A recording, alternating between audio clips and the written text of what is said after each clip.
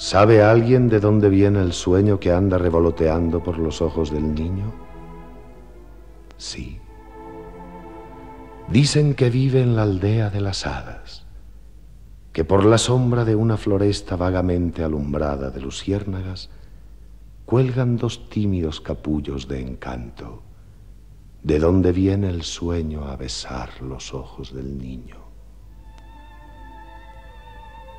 ¿Sabe alguien en dónde nació la sonrisa que está aleteando por los labios del niño dormido? Sí.